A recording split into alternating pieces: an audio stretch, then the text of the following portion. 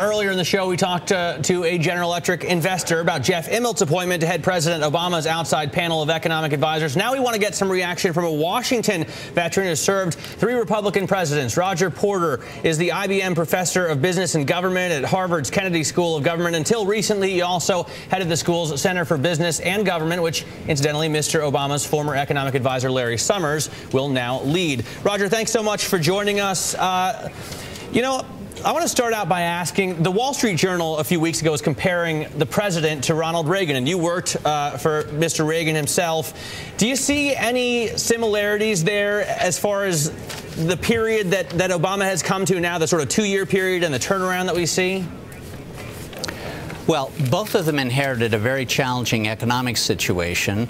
Uh, when Ronald Reagan came into office, we had uh, had two years of back-to-back double-digit inflation, high and rising unemployment, uh, and a uh, interest rate, uh, prime interest rate of 21.5%, and no real growth in the economy.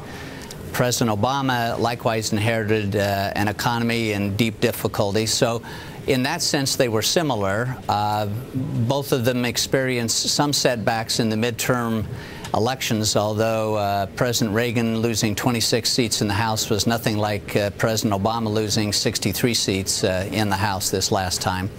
But both of them uh, needed to have a great deal of focus during their uh, term on the economy, and in that sense, they're very similar. One of the things I remember from the Reagan presidency, and of course I was fairly young at the time, was uh, his desire to roll back regulation. And it was interesting to see President Obama write in an op-ed in the Wall Street Journal uh, with a kind of similar tone last week. Do you think that he means it? Do you think that uh, the Obama administration is really turning around as far as um, reducing uh, inefficiencies in regulation? Well, words are one thing, actions are another. President Reagan did halt the dramatic increase that we had seen the previous four years in the rise of federal regulation, and indeed it was one of the four pillars of his economic program. President Obama has indicated that he is interested in having departments and agencies look at the regulations uh, on the books to see about having them rolled back. We will only know after they have done that look and made proposals for uh, reducing or rolling back regulations, whether or not the content meets the promise. Roger, let me ask you because, you know, we all read that op-ed by President Obama in the Wall Street Journal this week. We see Jeff Immelt being, you know, put out there in front all this week. We've had the Chinese president in town, lots of CEOs, some that weren't maybe necessarily welcomed at the White House as of late. And I'm thinking a lot of the financial guys. All of a sudden, it looks like the president is embracing corporate America big time. No longer do we hear the fat cat bankers. That's kind of the past. You're in the White House. You come off those midterms. What do you think happened? Was there a major strategy session between uh, the administration's folks and said, we got to change things here quickly?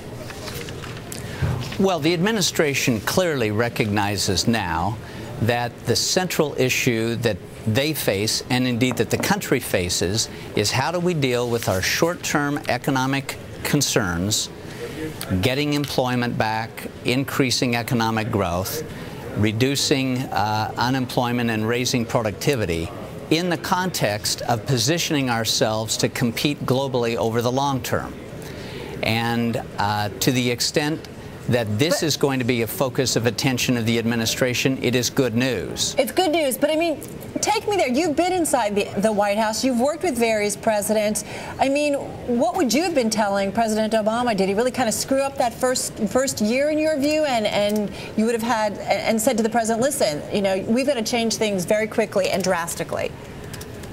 Well, I think when he came into office, what he needed to do was to focus like a laser beam on the economy and do those things that would help produce economic growth.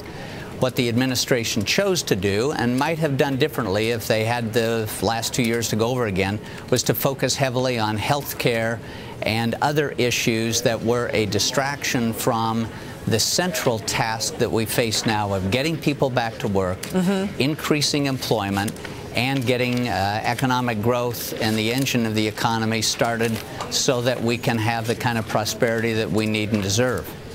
certainly feels like a, a new day in the White House. Roger, we're going to have to leave it there, but thank you so much for your time. Roger Porter of Harvard's Kennedy Thank School. You. Roger, thanks.